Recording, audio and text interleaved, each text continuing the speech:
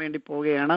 ആകയാൽ നമുക്ക് വചനത്തിന് മുമ്പിലാകുന്നതിന് മുമ്പായിട്ട് ഒരു ഗാനം ശ്രവിക്കാം. ഇന്ന് രാത്രികാലം നമുക്ക് വേണ്ടി ദൈവസനയിൽ ഗാനം പാടുന്നത് പ്രിയ പ്രിയ സഹോദരൻ ബ്രദർ ക്രിസ്റ്റോ ചെറിയാനാണ്. പല അവസരങ്ങളിലും ഇതിനു മുമ്പ് ഈ പ്രയർ ലൈനിൽ കടന്നു വന്ന് പാട്ട് പാടുകയും കർത്താവിന് വേണ്ടി ശുശ്രൂഷിക്കുകയും ചെയ്യുവാൻ കർത്താവിന്റെ ദാസനെ ദൈവം ഉപയോഗിച്ചിട്ടുണ്ടല്ലോ. ഇന്ന് രാത്രികാലവും ആ പ്രയർ ലൈനിലേക്ക് തന്നെ ഞാൻ സ്വാഗതം ചെയ്യുന്നു. ദൈവമായ കർത്താവ് നമ്മെ സഹായിക്കട്ടെ. Brother Christo Cherian.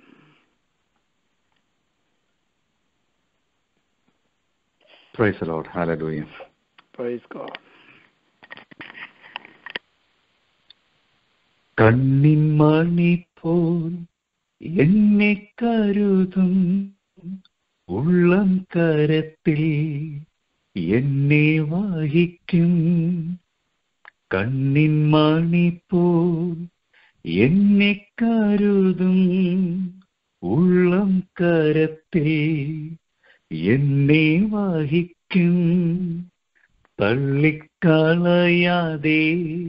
മാർവിൽ ചേർക്കും.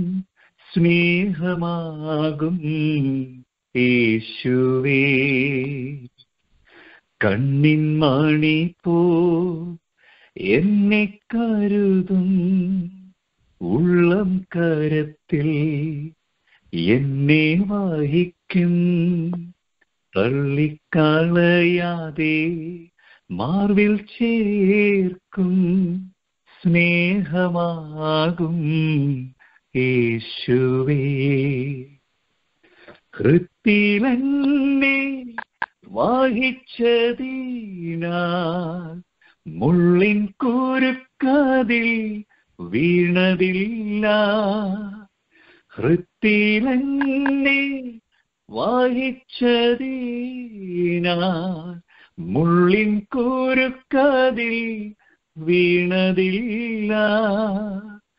കണ്ണിൽ തന്നെ നോക്കിയതീന തുമ്പമൊന്നും ഏശിയില്ല.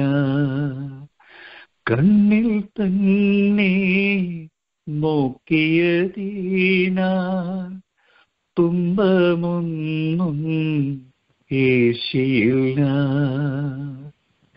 കണ്ണിൻ മാണിപ്പോ എന്നെ കരുതും.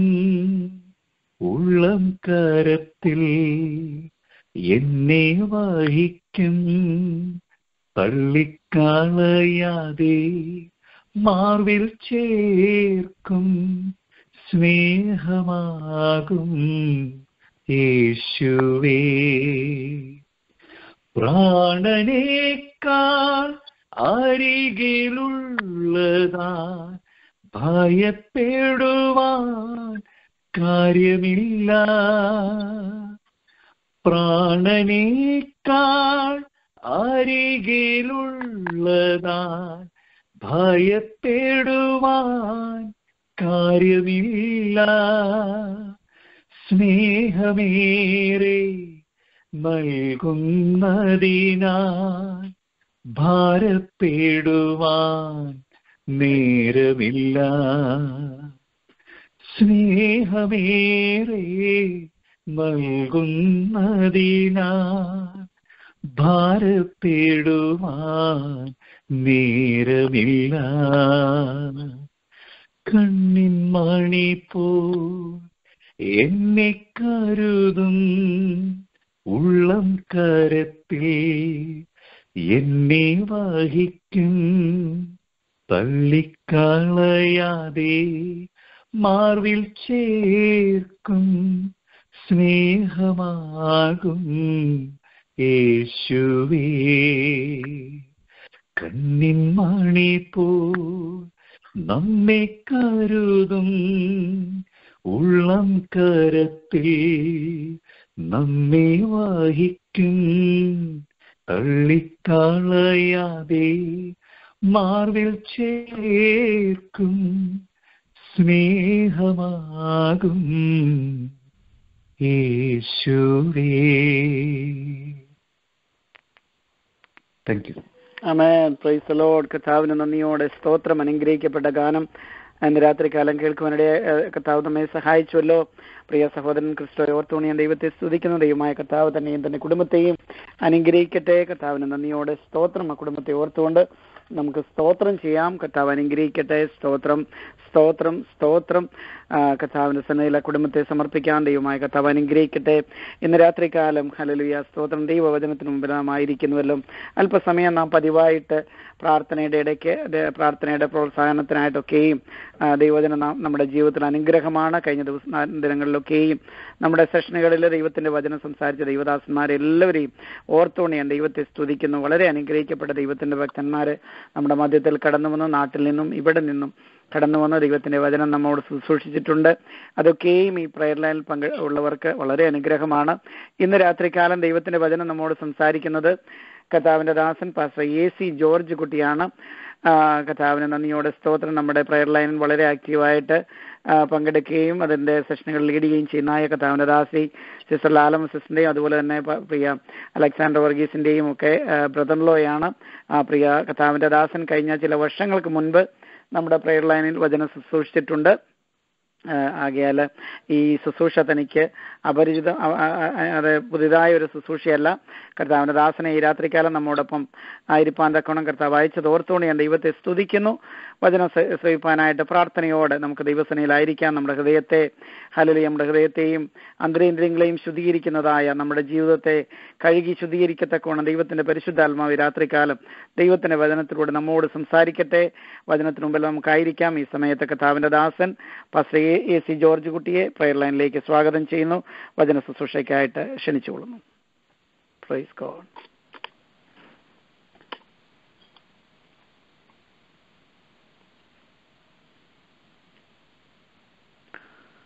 പ്രൈസ് ലോഡ് കത്താമരദാസൻ ദാസൻ ലൈനിലുണ്ടല്ലോ?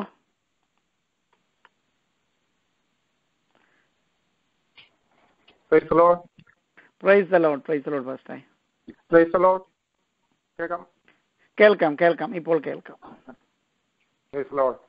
ഈ രാത്രി പ്രയർ ലൈനിൽ കടന്നു വരുവാൻ ദൈവവചനം സംസാരിപ്പാൻ ദൈവം ഇങ്ങനെ ഒരു അവസരം ഒരുക്കിയത് ഓർത്ത് ദൈവത്തെ സ്തുതിക്കുന്നു. ദൈവത്തിനാഥൻ പറഞ്ഞ പോലെ എന്റെ പേര് ജോർജ് കുട്ടി എന്നാണ്. ഞാൻ ചങ്ങനാശ്ശേരി സ്വദേശിയാണ്.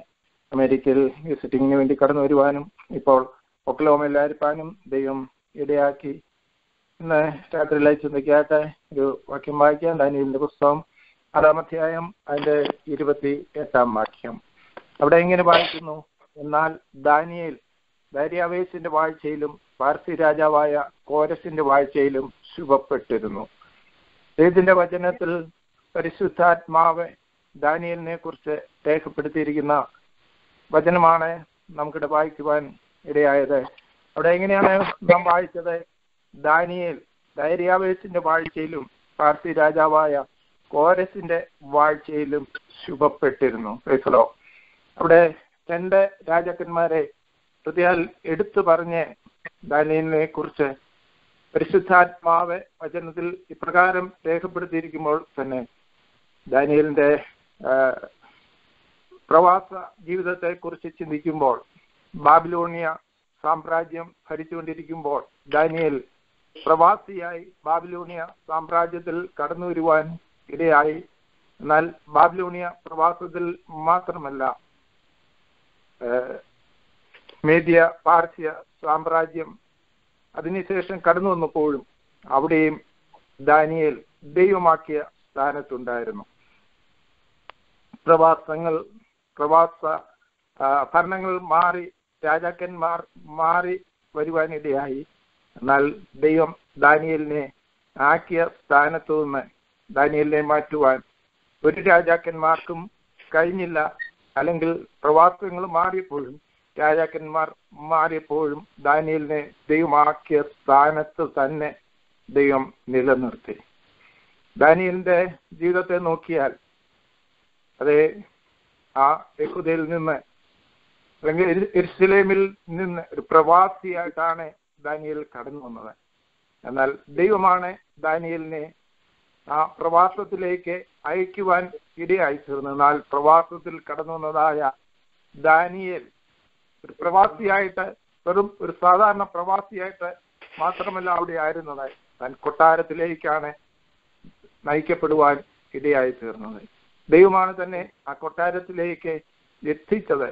എന്നാൽ താൻ ചെന്ന സ്ഥാനങ്ങളിലൊക്കെയും തന്നെ അയച്ച ദൈവം അല്ലെങ്കിൽ താൻ സേവിച്ചുകൊണ്ടിരുന്നതായ ആ ദൈവത്തിന്റെ പ്രമാണം മുറുകെ പിടിക്കുവാനും ആ ദൈവത്തിന്റെ സന്നിധിയിൽ വിശ്വസ്തയോടെ നിലനിൽക്കുവാനും ഇടയായി തീർന്നു.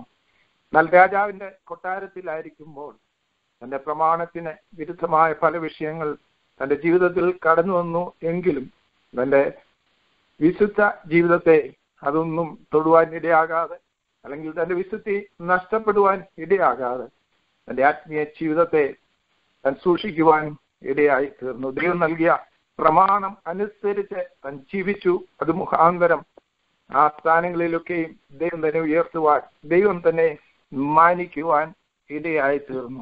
ഇവിടെ നാം വായിച്ചത് അതെ ഈ രാജാക്കന്മാരുടെ വാഴ്ചയിലൊക്കെയും താൻ ശുഭപ്പെട്ടിരുന്നു എന്നാണ്. യോഹനാന്റെ ലേഖനത്തിലേക്ക് നാം കടന്നു വരുമ്പോൾ യോഹനാൻ അപ്പോസ്തോലൻ ഗായോസിനെ കുറിച്ച് അവിടെ പറയുന്ന ആയിട്ട് മൂന്ന് യോഹനാൻ എന്ന വാക്യത്തിൽ നാം വായിക്കുന്നു പ്രിയ ഗായോസെ നീ സകലത്തിലും ശുഭമായും സുഖമായും ഇരിക്കണം എന്ന് യോഹനാൻ അപ്പോസ്തോലൻ ആട്ട് നമുക്ക് കാണുവാൻ കഴിയുന്നു.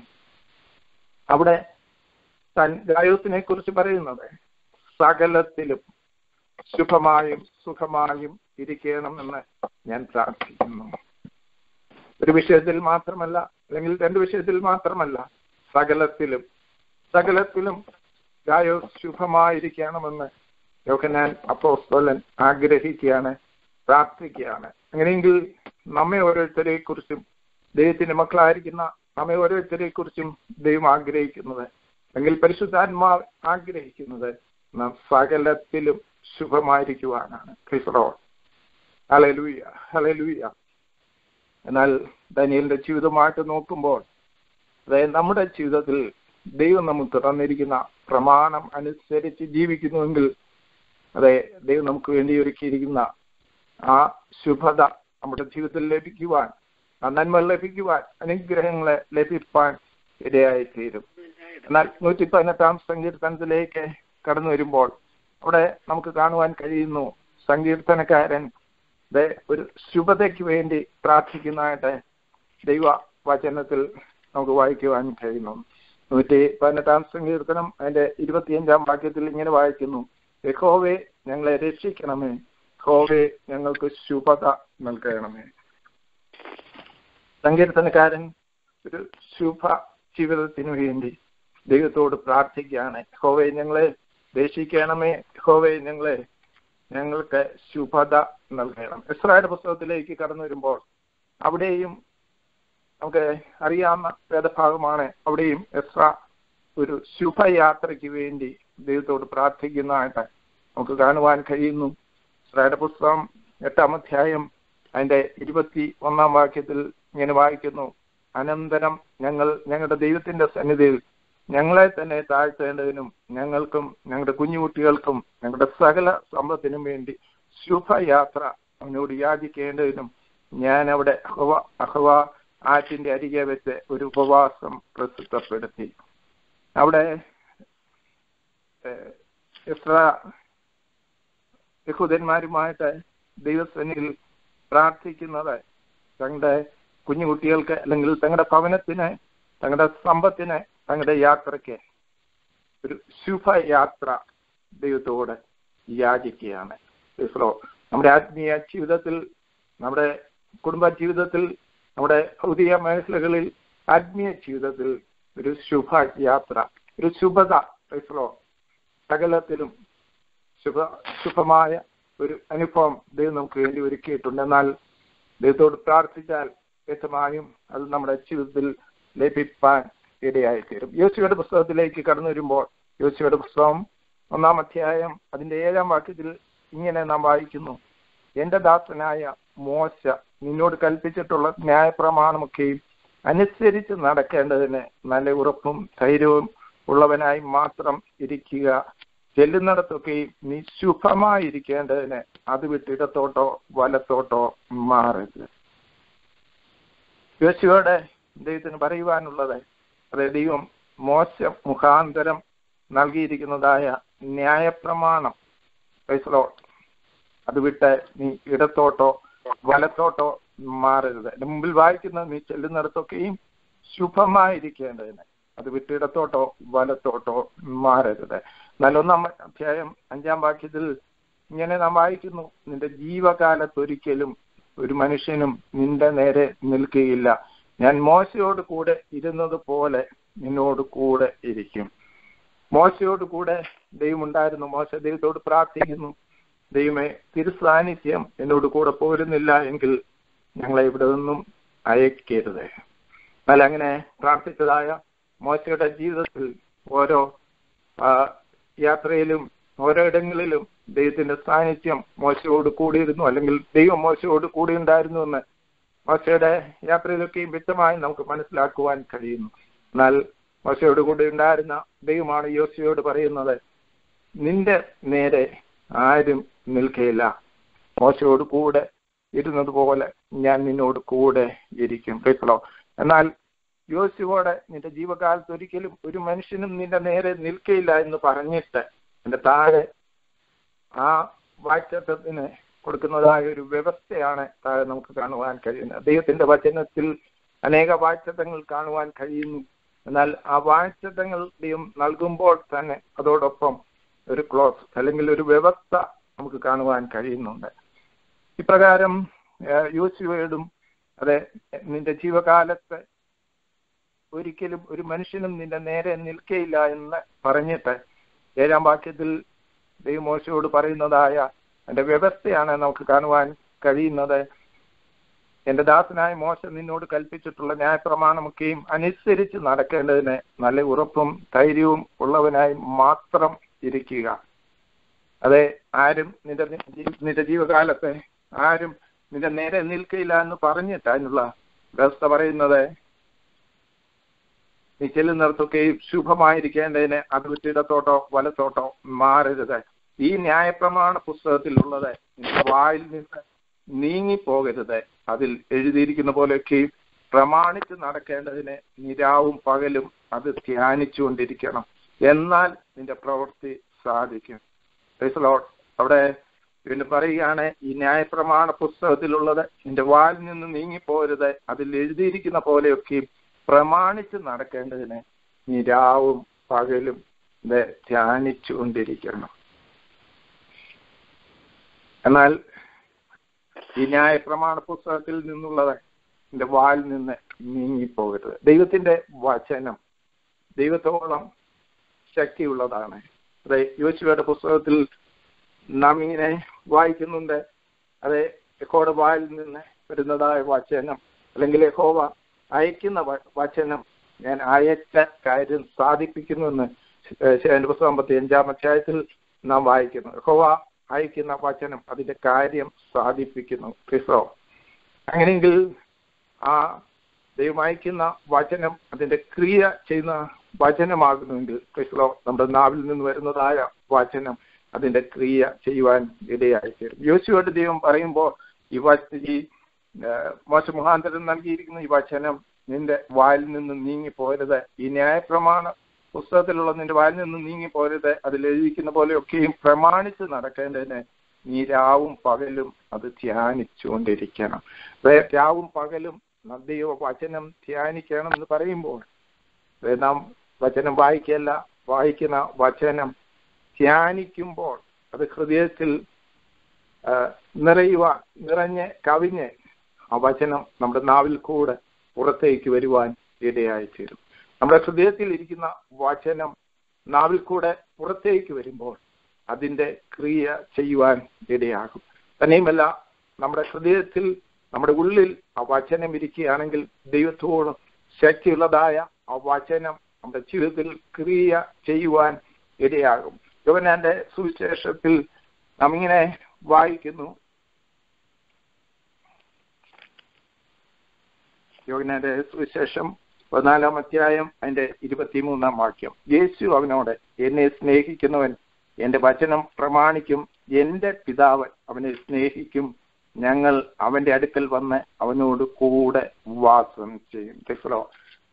ദൈവത്തിന്റെ പ്രമാണം അനുസരിക്കുന്ന ഒരുവന്റെ ജീവിതത്തിൽ പിതാപുത്ര പരിശുദ്ധാത്മാവ് അവനിൽ വാസം ചെയ്യുന്നതായ അനുഭവം ഉണ്ടാകുവാൻ ഇടയാകും. ദൈവവചനത്തിൽ നമ്മുടെ വായിച്ച യേശുവിനോട് എന്നെ സ്നേഹിക്കുന്നവൻ എന്റെ വചനം പ്രമാണിക്കും.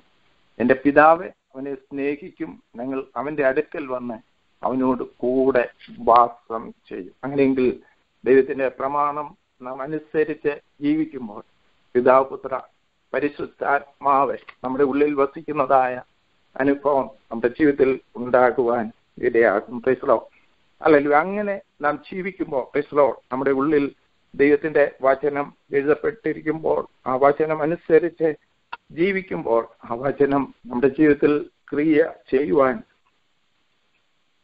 ദൈവത്തോളം ശക്തിയുള്ളതായ ആ വചനം നമ്മുടെ ഉള്ളിലിരിക്കുമ്പോൾ ഒരു ശത്രുവും നമ്മുടെ നേരെ നിൽക്കുവാൻ ഇടയാകത്തില്ല. പ്രശ്നോ അതെ യോശുവോടെ അതായത് നിന്റെ ജീവകാലത്ത് ഒരിക്കലും ഒരു മനുഷ്യനും നിന്റെ നേരെ നിൽക്കുകയില്ല ഞാൻ മോശയോട് കൂടെ ഇരുന്നത് പോലെ നിന്നോട് കൂടെ ഇരിക്കും എന്ന് പറഞ്ഞിട്ട് ഏഴാം വാക്യത്തിന്റെ അവസാനം പറയുന്നത് നീ ചെല്ലുന്നിടത്തൊക്കെയും ശുഭമായിരിക്കേണ്ടതിന് അത് വിട്ട് ഇടത്തോട്ടോ വലത്തോട്ടോ നീങ്ങരുത്. അങ്ങനെയെങ്കിൽ നമ്മുടെ ജീവിതത്തിൽ നാം ശുഭമായിരിക്കുവാൻ ഹിസ്ലോ ഹലലുയ അതെ ദൈവീയ അനുഗ്രഹങ്ങൾ പൂർണമായും നമ്മുടെ ജീവിതത്തിൽ ലഭിക്കണമെങ്കിൽ അതെ ദൈവം നമുക്ക് നൽകിയിരിക്കുന്ന വചനമനുസരിച്ച് ദൈവം നമുക്ക് നൽകിയിരിക്കുന്ന പ്രമാണമനുസരിച്ച് നാം ജീവിക്കേണ്ടിയിരിക്കുന്നു. അപ്രകാരം നാം ജീവിക്കുമ്പോൾ ക്രിസ്ലോ ദൈവം നമുക്ക് വേണ്ടി ഒരുക്കിയിരിക്കുന്ന നന്മകൾ പൂർണമായിട്ട് ലഭിക്കുവാൻ ഇടയായി തീരും ദാനിയലിന്റെ ജീവിതത്തിൽ നോക്കിയാൽ ദാനിയലിനെ കുറിച്ച്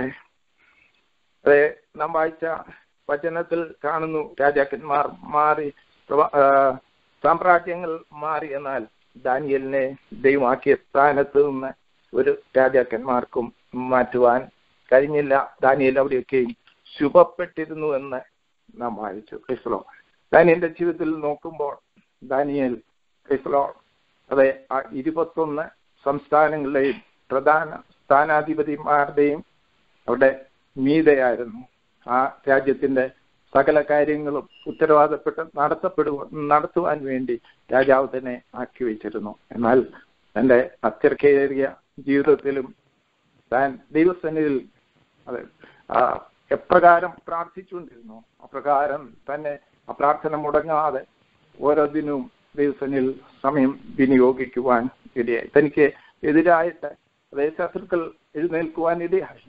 തനിക്കെതിരായിട്ട് ഒരു രാജാവിന്റെ മുമ്പിൽ ബോധിപ്പിക്കേണ്ടതിന് ഒരു കുറ്റം കണ്ടുപിടിക്കുവാൻ നോക്കി. എന്നാൽ തന്റെ ജീവിതത്തിൽ യാതൊരു നിലയിലും ഒരു തെറ്റും കണ്ടുപിടിക്കുവാൻ ഇടയായില്ല. എന്നാൽ രാജാവിനെ കുറിച്ച് കൊണ്ട് ഫൈസലോ തനിക്കെതിരായിട്ട് രേഖ എഴുതിച്ചു. രാജാവിനോടല്ലാതെ മറ്റാരോടും മുപ്പത് ദിവസത്തേക്ക് അപേക്ഷി മറ്റാരെങ്കിലും അപേക്ഷിക്കുന്നുവെങ്കിൽ അവനെ സിംഹങ്ങളുടെ ഗുഹയിൽ ഇടയണമെന്ന് രേഖ എഴുതിയപ്പോഴും ദാനിയൽ അതായത് ദൈവസനിൽ പതിവ് പോലെ പ്രാർത്ഥിക്കുവാൻ ഇടയായി തീർന്നു എന്നാൽ ആ രേഖ എഴുതിയിരിക്കുമോ? ക്രിസ്ലോ താൻ ദിവസനിൽ മുട്ടുമടക്കുവാൻ ഇടയായി തീർന്നത് താൻ സേവിക്കുന്ന ദൈവത്തിന്റെ ശക്തി തനിക്കറിയാവുന്നത് കൊണ്ട് താൻ സേവിക്കുന്ന ദൈവം ആരെയെന്ന് വ്യക്തമായി താൻ മനസ്സിലാക്കിയത് കൊണ്ടാണ് അപ്പോൾ തനിക്കെതിരായിട്ട് രേഖ എഴുതിയിരിക്കുമ്പോഴും ദിവസനിൽ താൻ മുട്ടുമടക്കുവാൻ ഇടയായി തീർന്നത് ക്രിസ്ലോ അല്ലല്ലോ നമ്മുടെ ജീവിതത്തിൽ അപ്രകാരമുള്ളതായ പ്രതിസന്ധിയിൽ കടന്നു വരുമ്പോഴും നാം സേവിക്കുന്ന ദൈവത്തെ ഉപേക്ഷിക്കാതെ കൈവിടാതെ ക്രിസ്ലോ നമ്മുടെ ആത്മീയ ജീവിതത്തിൽ ദൈവത്തിൽ മുറുകെ പിടിച്ചുകൊണ്ട് മുന്നോട്ട് പോകുന്നെങ്കിൽ നമ്മുടെ ജീവിതത്തിൽ കടന്നു വരുന്നതായ പ്രതിസന്ധികളുടെ മധ്യത്തിൽ ദൈവം നമ്മെ വിടുവിക്കുവാൻ ദൈവം നമ്മെ സഹായിപ്പാൻ ഇടയായി തരും അവിടേക്ക് നാം കാണുന്നു തനിക്കെതിരായ ശത്രുക്കൾ എഴുന്നേറ്റു താൻ സിംഹത്തിന്റെ ഗുഹയിൽ വീഴുന്നതായ അനുഭവം ഉണ്ടായി.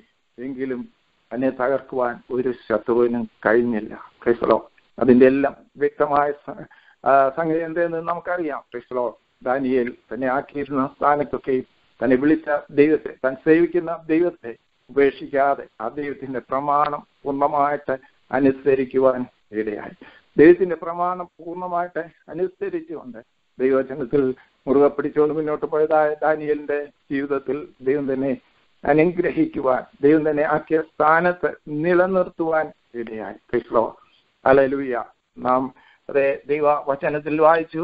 ദരിയവയസിന്റെ വാഴ്ചയിലും രാജാവായ കോരസിന്റെ വാഴ്ചയിലും ദാനിയേൽ ശുഭപ്പെട്ടിരുന്നു. ക്രിസ്ലോ അങ്ങനെയെങ്കിൽ ഇന്ത്യയുടെ വിവിധ ഇടങ്ങളിൽ നിന്ന് ദേശ രാജ്യങ്ങളിൽ ഗൾഫ് രാജ്യങ്ങളിൽ അമേരിക്കയുടെ വിവിധ ഇടങ്ങളിൽ ദാനിയലിനെ പോലെ ദൂരസ്ഥലങ്ങളിൽ നാം ആയിരിക്കുമോ ക്രിസ്ലോ ഒരുപക്ഷെ നമ്മുടെ ഭൗതിക ജീവിതത്തിൽ ശത്രുക്കൾ നമുക്കെതിരായി എഴുന്നേറ്റു എന്ന് വരാം. എന്നാൽ നമ്മുടെ ജീവിതത്തിൽ എന്ത് തന്നെ വിഷയങ്ങൾ കടന്നു വന്നാലും എന്ത് തന്നെ പ്രശ്നങ്ങൾ കടന്നു വന്നാലും അവിടെയൊക്കെയും ദൈവം നമുക്ക് നൽകിയിരിക്കുന്ന പ്രമാണത്തെ മുറുകെ പിടിച്ചുകൊണ്ട് ദൈവസനിൽ ദൈവത്തോടെ അടുത്ത് ജീവിക്കുന്നുവെങ്കിൽ ഒരിക്കലും ഒരു ശത്രുവിനും നമ്മെ തകർക്കുവാൻ കഴിയത്തില്ല. തന്നെയുമല്ല ദൈവമാണ് വിവിധ ഇടങ്ങളിൽ ദാനിയലിനെ പോലെ തന്നെ നമ്മെ ഓരോരുത്തരെയും ആക്കി വെച്ചിരിക്കുന്ന ദേശരാജ്യങ്ങളിൽ നമ്മുടെ നാട് വിട്ട് നാം ദേശരാജ്യങ്ങളിൽ വിവിധ ഇടങ്ങളിലായിരിക്കുമ്പോൾ അതെ ആ, സ്ഥാനങ്ങളിൽ ദൈവമാണ് നമ്മെ കൊണ്ടുവന്നത്. ദൈവമാണ് നമ്മെ ഇടങ്ങളിൽ ആക്കി വെച്ചിരിക്കുന്നത്. എന്നാൽ ആ സ്ഥാനങ്ങളിൽ നാം ദൈവസനിൽ വിശ്വസ്തയോടെ നിലനിന്ന് കഴിഞ്ഞാൽ ആർക്കും നമ്മെ അവിടെ നിന്ന് പറിച്ചു കളയുവാൻ കഴിയത്തില്ല. എന്നാൽ ദൈവസനിൽ വിശ്വസ്തയോടെ നിൽക്കുമ്പോൾ ദാനിയലിനെ ദൈവം ഉയർത്തിയതുപോലെ നമ്മെ ഓരോരുത്തരെയും ഉയർത്തുവാൻ നമ്മെ ഓരോരുത്തരെയും മാനിക്കുവാൻ ഇടയായി തീരും. പ്ലേസലോ ആകയാൽ ഈ ദിവസങ്ങളിൽ നമ്മുടെ ജീവിതത്തിൽ ഒരു ശുഭ ജീവിതത്തിന് വേണ്ടി ദൈവത്തോട് പ്രാർത്ഥിക്കാം. ദൈവം നമ്മയാക്കി വെച്ചിരിക്കുന്ന സ്ഥാനങ്ങളിൽ വിശ്വസ്തയോടെ ദൈവത്തെ സേവിക്കാം. ദൈവത്തിന്റെ വചനം മുറുകെ പിടിച്ചുകൊണ്ട് മുന്നോട്ട് പോകുമ്പോൾ അതെ യോശിയോട് ദൈവം പറഞ്ഞതുപോലെ ഒരു ശത്രുവും ആരും നിന്റെ ജീവകാലത്ത് നിന്റെ നേരെ നിൽക്കയില്ല എന്ന് യോശിയോട് പറയുന്നത് പോലെ ഒരു ശത്രുവും നമ്മുടെ നേരെ നിൽക്കയില്ല. ധനിയലിനെതിരായിട്ട് ശത്രുക്കൾ ഉപായങ്ങൾ മെനഞ്ഞുവെങ്കിലും അതെ ദാനിയലിനെ തകർക്കുവാൻ കഴിഞ്ഞില്ല.